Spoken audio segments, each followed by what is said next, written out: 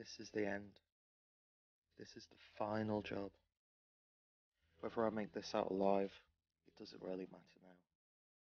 I've got it done. This is the second time. If you're reading this, I am probably dead. But hopefully, just hopefully, I can come out on top. I never meant for this to affect you or get you involved. But I have. And if I am indeed dead, I want you to leave. Leave the country, because they'll come after you. I still don't know who did this to me. I still don't know. But it doesn't matter now. I love you so much.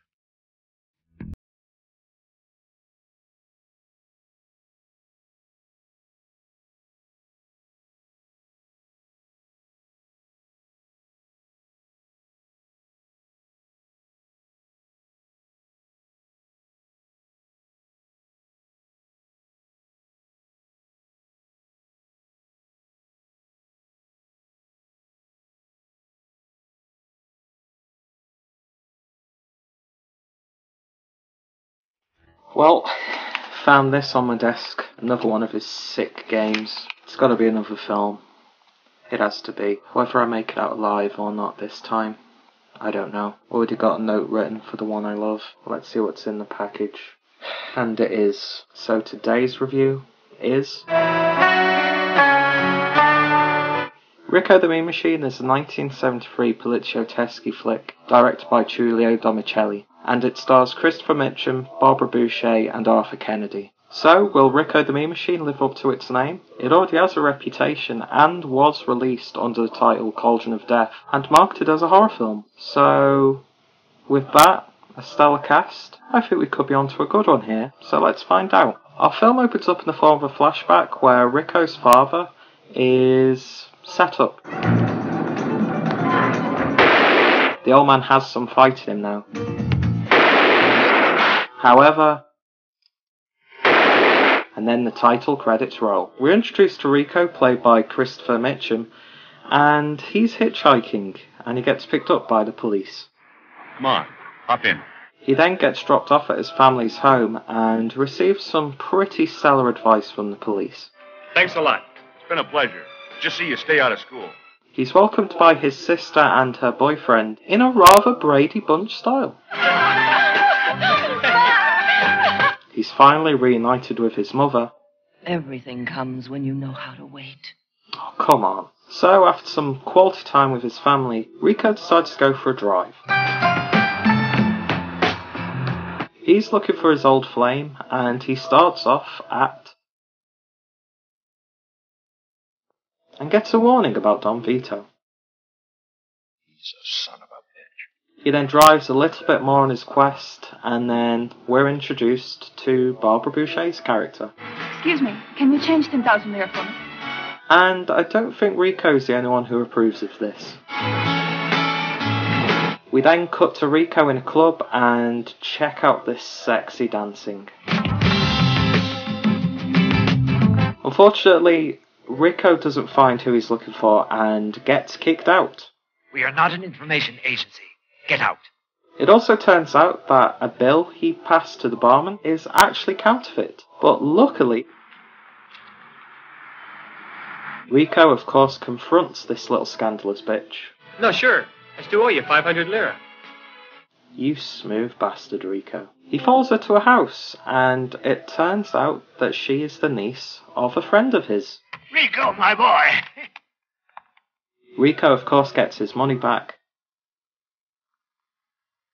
I'm sorry. and she also offers to help him get close to Don Vito. Speaking of which, we're introduced to Don Vito, who likes to keep in shape.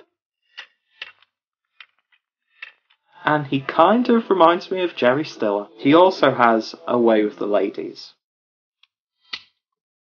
Kiss me. So Ricco and Barbara decide to wait for Don Vito to leave, and then they put their plan into action. Hey, is there anything I can do for you, miss? Ricco, of course, infiltrates Don Vito's mansion, sponsored by Coca Cola. After a little bit of. He finds the girl that he's been looking for. What are you doing here? Why have you come back? They get reacquainted. Unfortunately, they get interrupted, but Ricco being Ricco comes up with a perfect escape plan. I'm going to have to hurt you. Shout loud. Ricco, of course, manages to escape. We then cut to Don Vito at his factory, where he finds out the bad news, and boy is he pissed. All around the house, six armed men and two dogs. He also likes to tell people about his turn-offs. Don't you know by now I can't stand soap or men that sweat? So after a little bit of snooping, Ricco and Barbara follow a couple of Don Vito's guys, and they decide to rob them. This, of course, leads to probably one of the most infamous scenes from the film. While Barbara's got their attention, Ricco disposes of them brilliantly. And then they steal their car. Then this happens. Which, of course, leads to. Unfortunately, Ricco's interrupted again. What have you done? I suspected it. Poor guy. Back at the factory, the unfortunate gangsters tell their boss what happened, and this leads to probably an even more infamous scene of the film. Once again, Vito is well and truly pissed off, and they didn't call this film The Cauldron of Death for nothing. Uh, The next day, to cheer himself up, Don Vito decides to throw a party. Where he lays down the law. But we can't pay more. We give you as much money as we can every month. And he finds out some rather troubling news. Yes, I remember. Blissfully unaware, Ricco decides to go back to the spa, where he also receives some unfortunate news.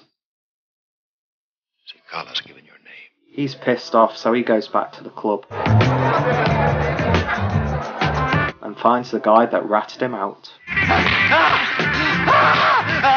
Luckily for the rat, Ricco's a good kid and spares his life for some valuable information.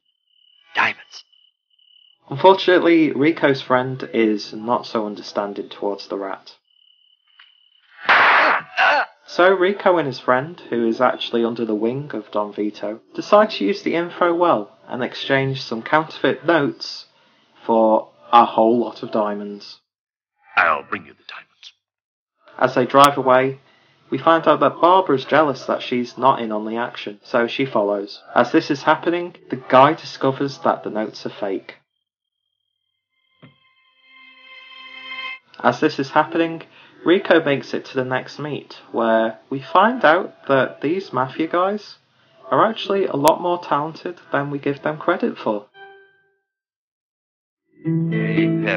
But of course, talent doesn't matter when you get into a situation like this. And unfortunately for Ricco, his friend isn't too good at sharing. If I shared with you, it wouldn't be necessary for me to have to kill you. But Karma sure is a bitch. So the guy who was duped before sure doesn't like to get ripped off, and he decides to phone Don Vito to see what the next step is. Tell him I don't like that name. And kill him. Yeah, Ricco is quite a silly name. Luckily for Ricco, Barbara saves the day. A little tussle ensues until.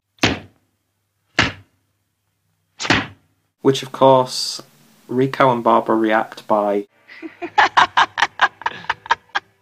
Love does silly things, people. Back at Vito's place, Rosa gets a little bit too frisky with her bodyguard. Unfortunately for them, Vito comes home rather early. Understandably pissed off, Vito has his men do this. And in probably the most infamous scene in the film, do I really need to explain this? And just to be on the safe side, say what you want, but Don Vito is a true romantic. Ricco decides to phone Vito and strike up a little bit of a deal. Wait, Vito.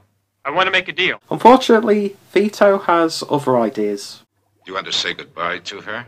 And then. Like I said, Vito is a true old school romantic type. Vito hatches a plan. We'll make him come out of his little nest. And boy, does he mean business.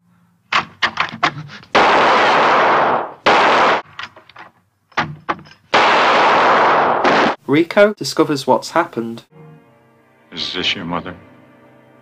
and understandably, he wants revenge. But Barbara's not too sure. Please don't go. And to make matters worse, What does it mean? That Rosa is dead. so Ricco decides to meet Vito at the factory, which of course leads to a mega shootout.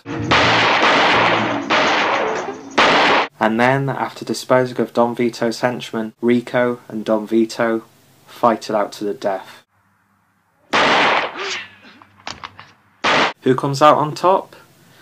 Well, that's for you guys to find out. And so ends our film. Ricco the Mean Machine is one of the more violent examples of the Poliziotteschi film. It's got a great story. It's stuff that you've seen in any other mafia film. But it's just a terrific film. Uh, it really is. The cast is great. You've got Barbara Bouchet in there, who is just terrific throughout, especially that scene that she's famed for in this film. Um, but no, she's great throughout. She's not just the eye candy as well, which I like. Arthur Kennedy is terrific as Don Vito. He's just a cold bastard all the way through, and I really enjoyed his performance. I highly recommend this one. If you want your Poliziotteschi with a little bit of a punch, this is one for you. It's just an unapologetic gangster flick. This DVD itself from Dark Sky Films, if you want to pick it up, pick it up now. This is one of those titles that is just going to go up and up and up in price the more you hold off. Definitely, definitely check out. It's an entertaining film from start to finish, and I just absolutely loved it. That's the end of Mondo Violento for this season, part two.